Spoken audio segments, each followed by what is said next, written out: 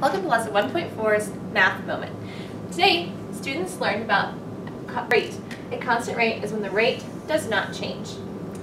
For example number one, it says fill in the missing values of the rate table and determine if the rate is constant. Our question says, for every pound of strawberries you buy, the cost is $3. Is there a constant rate?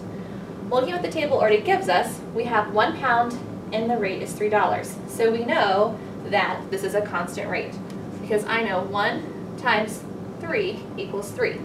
Now to fill in these missing values, I need to use my information that I have, which is the cost of $3 for my constant rate. So 2 times my 3, which is my constant rate, gives me 6. Doing the same thing using my 3 as my constant rate, I have 3 times 3, which gives me $9. And for the last value of the table, I have 4 times the $3, which gives me $12. So in this problem, is there a constant rate? Yes. Using this information, we can figure out what that constant rate would be for each pound that we're going to buy.